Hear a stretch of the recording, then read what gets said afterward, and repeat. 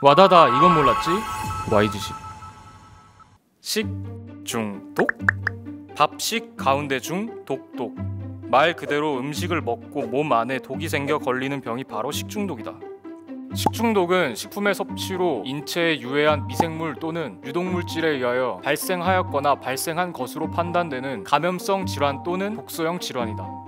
식중독 증상은 주로 발열, 구토, 설사, 복통 등으로 대부분은 자연 회복되지만 증상이 심한 경우 병원을 방문해 치료받는 것이 좋다.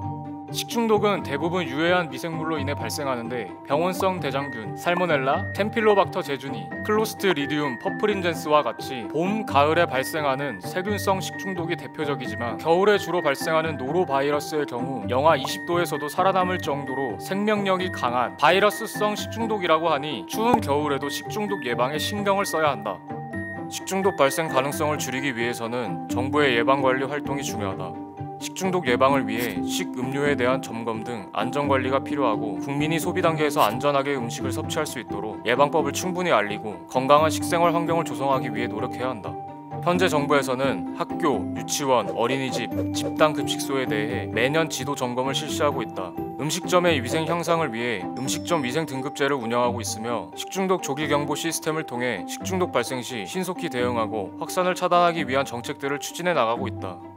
보다 효과적인 식중독 예방을 위해 교육과 홍보 활동에도 힘쓰고 있다. 학교와 사회복지시설 등 급식시설 담당자와 조리 종사자들을 대상으로 식중독 예방 교육을 실시하고 더불어 식중독 예방 캐릭터 지킬 박사 등을 활용한 홍보 영상, 카드뉴스, 포스터, 웹툰 등을 제작하여 TV나 SNS 등 소통 채널을 다각화하여 전 방위적으로 홍보 활동을 하고 있다. 정부에서는 식중독 예방을 위해 식중독 예방 6대 수칙 실천을 통한 개인 위생 관리와 식품 보관 온도 준수 등을 지켜줄 것을 당부하고 있다. 음식 조리 전후나 화장실 이용 후에는 깨끗하게 손을 씻고 육류, 달걀류 등 조리 시에는 잘 익혀 먹어야 하고 칼과 도마는 식재료별로 구분해서 사용해야 한다.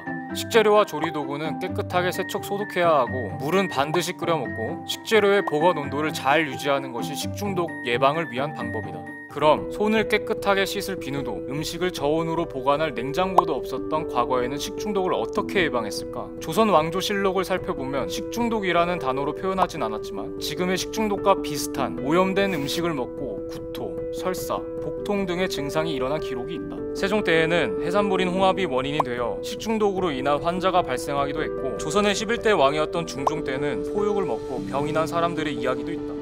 그 시절 우리 조상들도 현대에 살고 있는 우리처럼 식중독 예방과 치료를 위해 노력해왔다. 상하기 쉬운 나물이 많이 들어가는 사찰 음식에는 식초를 넣어 세균 증식을 억제하고 천연 방부제 역할을 하는 연잎과 솔잎을 이용해 음식을 보관하고 해독 작용을 하는 매실을 섭취해 식중독 치료에 사용하기도 했다고 한다. 또 우리가 옛부터 사용한 녹그릇은 보온과 보냉 효과뿐만 아니라 살균 작용을 한다고 해 녹그릇을 사용하였다고 한다.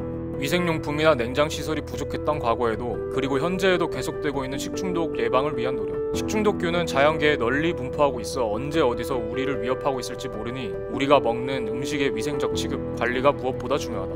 누구나 살면서 한 번쯤 경험할 수 있는 식중독. 가벼운 증상으로 지나갈 수 있지만 심한 경우 병원 신세를 질 수도 있는 질병인 만큼 예방이 최선이다. 와다다 이건 몰랐지? 지금까지 시리학 스토리.